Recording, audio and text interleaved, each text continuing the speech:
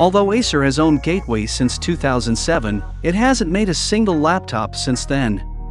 However, Gateway was recently revived for a new line of laptops offered mainly by Walmart. These brand new computers are not made by Acer, they are made by Bmorn Technology, a company based in Shenzhen, which also owns the Gateway trademark and has a license to use it on current whitebox designs.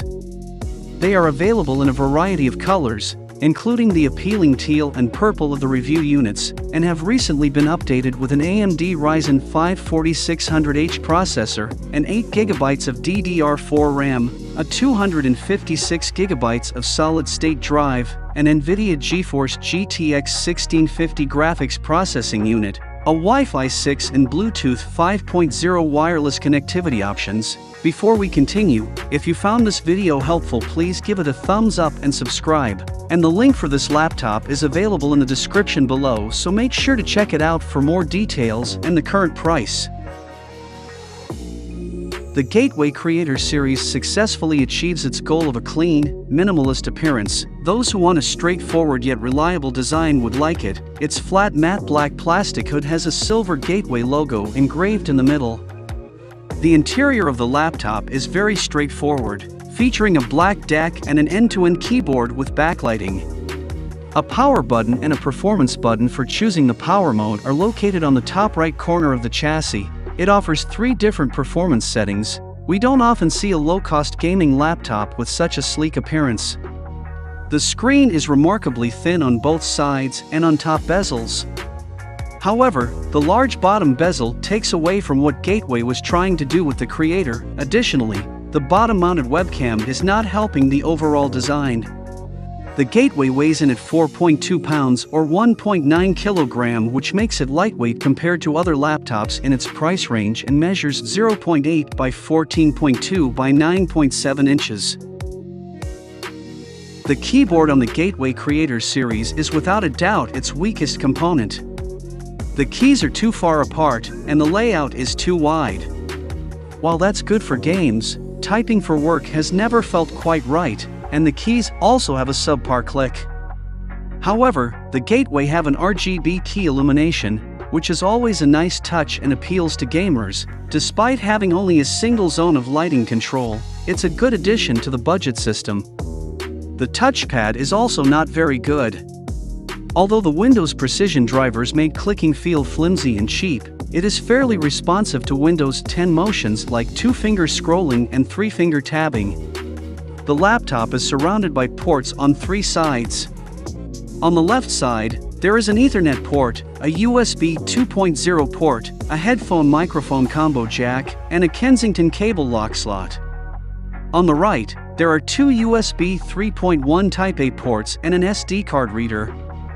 On the rear side, you will find one HDMI port and two mini display ports for video outputs, a USB Type-C port, and the AC adapter connector. If you wish to connect your laptop to a ton of external monitors for any purpose, this is the best option for you.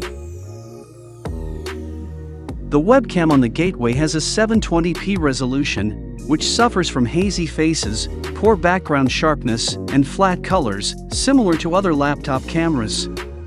The Gateway Creator 15 house a downfiring speakers with the renowned THX spatial audio technology, which can definitely be heard when watching movies, playing games, or listening to music.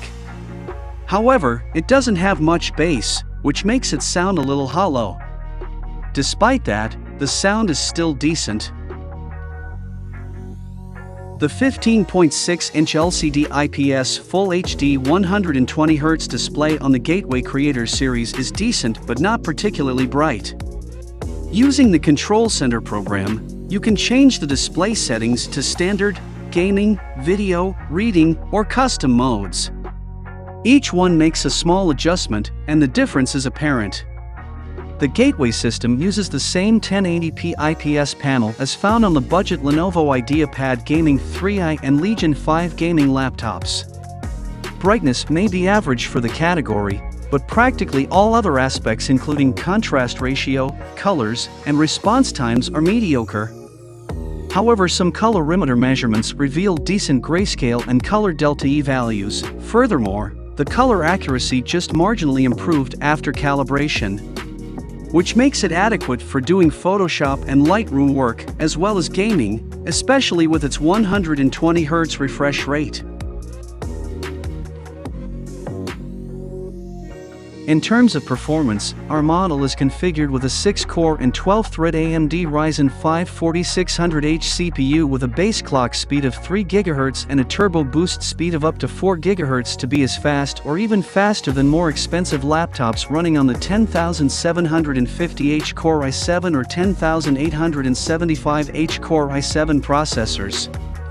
The 1080p 120Hz display and GeForce GTX 1650 graphics will also allow for smooth browsing and 1080p gaming at lower settings, even though the GTX 1650 GPU isn't strong enough to take full advantage of the 120Hz refresh rate in more difficult games, flying past 60 frames per second are certainly doable in some instances, especially lightweight esports titles, and here are the playable games with their respective frame rates.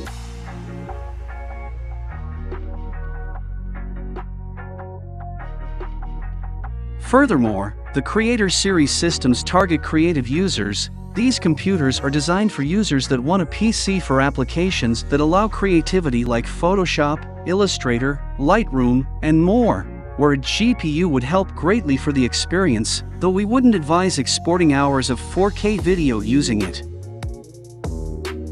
Both the 8GB RAM and the 256GB solid-state drive in the Gateway Creator are not particularly interesting, but accessing them to upgrade either or both is simple, and for that, there are one additional M.2 slots and one free SODIMM slot for expansion are available, which is highly recommended for people who perform numerous tasks at once. We will put upgradable options down in the description below. In terms of battery life, you won't be able to use the computer without plugging it in and charging it for the entire day with its maximum battery life of 5 hours. Due to their components, gaming and creator laptops have always had issues with battery life, although it only managed to score 4 hours when on the better performance setting, it is still better than other gaming systems on this same level. Before we conclude we must mention why you should and shouldn't buy this laptop. You should buy this laptop if you want a good value for many laptop, buy if you want a sleek thin design, Buy if you want a fast Ryzen 5 CPU and NVIDIA 1650 GTX GPU at this price range. Buy if you want a decent display and sound. Buy if you want lots of video outs. Buy if you want a 120Hz display. Don't buy if you don't want shorter battery life. Don't buy if you don't want a mediocre keyboard. Don't buy if you want a bright display in a well-lit environment. Don't buy if you want awkward webcam placement. Don't buy if you don't like a fan that runs loud.